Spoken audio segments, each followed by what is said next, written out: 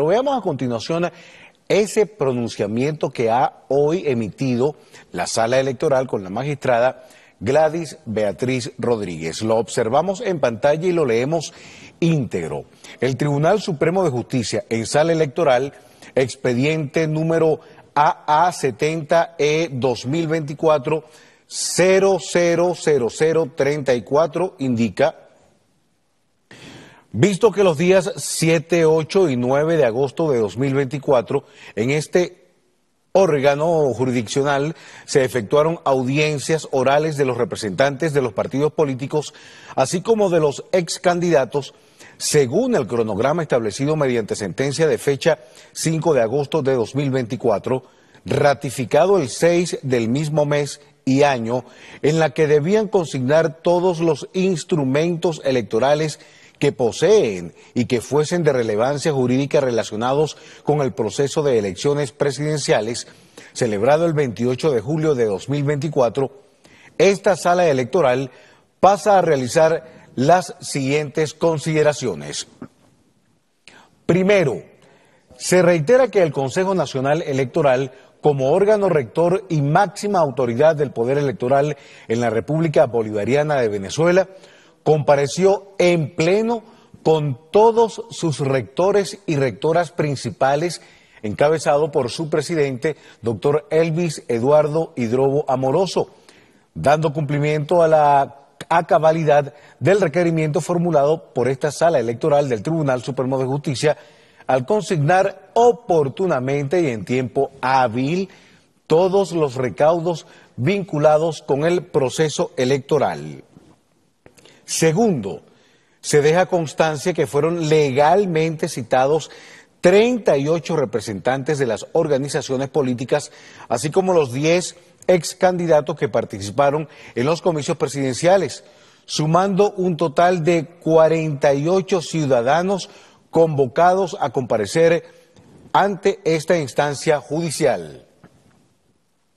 Tercero, en atención a las referidas citaciones, acudieron oportunamente las 38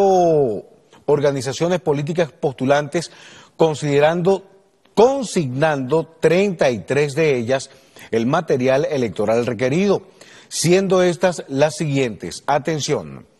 Primero Venezuela, Movimiento Primero Justicia, Unión Visión Venezuela, Venezuela Unidad, Acción Democrática, COPEI, Movimiento Republicano, Bandera Roja, Derecha Democrática Popular, Unión Nacional Electoral, Voluntad Popular, Alianza Política Asamblea Renovación y Esperanza, AREPA, Esperanzas por el Cambio, para el Cambio, Soluciones para Venezuela, MIN Unidad, Cambiemos, Avanzada Progresista, Movimiento Ecológico de Venezuela, Fuerza Vecinal, Confederación Nacional Democrática Conde, Partido Socialista Unido de Venezuela, PSV, Tupamaro, Patria para Todos, PPT, Movimiento Somos Venezuela, Organización Renovadora Auténtica ORA, por la Democracia Social, Podemos, Partido Verde, Enamórate, Venezuela, Movimiento Electoral del Pueblo, Partido Futuro Venezuela, Partido Comunista de Venezuela, PCB, Unidad Popular Venezolana, UPV y Alianza para el cambio.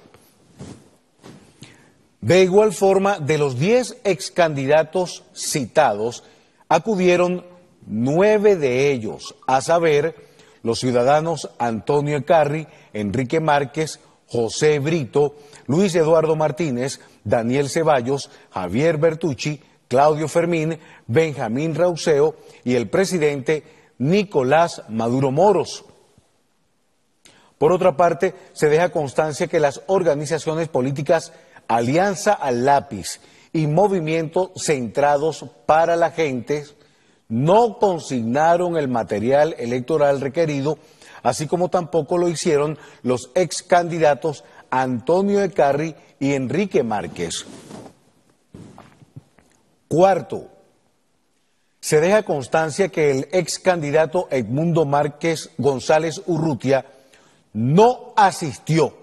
y por tanto no cumplió con la orden de citación desacatando con su inacción el mandato de esta sala, la más alta instancia de la jurisdicción contencioso electoral de la República Bolivariana de Venezuela. En consecuencia, no cumplió con la consignación de las actas de escrutinios, el listado de testigos, ni material alguno. Quinto, se hace constar categóricamente que los ciudadanos Manuel Rosales, representante de Un Nuevo Tiempo, José Luis Cartaya, representante de la Mesa de la Unidad Democrática, y José Simón Calzadilla, representante del Movimiento por Venezuela, MPB, todos miembros de la Alianza Plataforma Unitaria Democrática y postulantes del ex candidato Edmundo González, no consignaron material electoral alguno, argumentando que no poseen ningún tipo de documentación referida a este proceso electoral. En tal sentido, manifestaron que no tienen actas de escrutinio de los testigos de las mesas ni listados de testigos, aduciendo además que no participaron en el proceso de traslado y resguardo de material alguno. Igualmente, señalaron que la organización Súmate es parte del equipo asesor técnico de la Alianza Plataforma Unitaria Democrática y a su vez desconocieron quién o quienes realizaron la carga de la información de las presuntas actas de escrutinio en la página web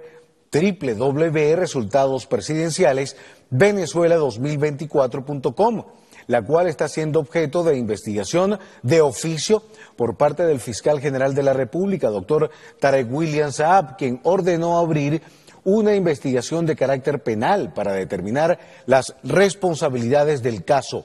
ante la zozobra causada en la población por la presunta comisión de los delitos de usurpación de funciones, forjamiento de documento público, instigación a la desobediencia de las leyes, delitos informáticos, asociación para delinquir y conspiración.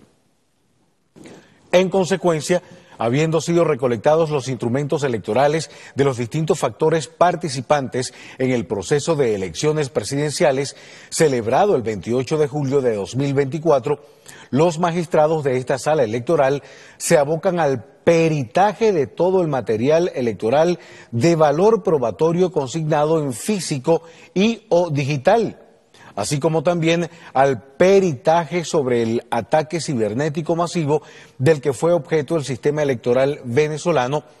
para lo cual esta sala contará con un personal altamente calificado e idóneo que hará uso de los más altos estándares técnicos, garantizando así esta máxima instancia judicial a todos los ciudadanos y ciudadanas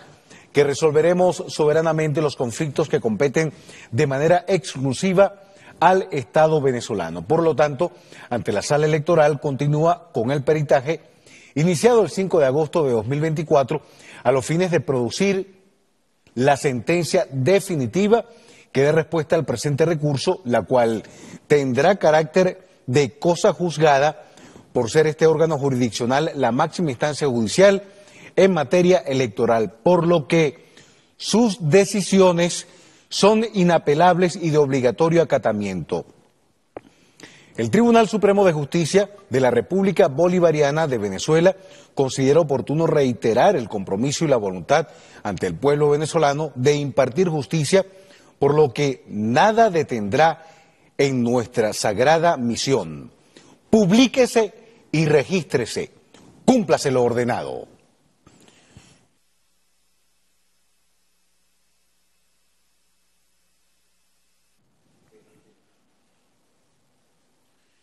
Bien, este fue el pronunciamiento de la sala electoral del Tribunal Supremo de Justicia luego de haber eh, procedido en la primera etapa en lo que respecta al procedimiento del recurso contencioso introducido ante esta sala por el presidente Nicolás Maduro Moros.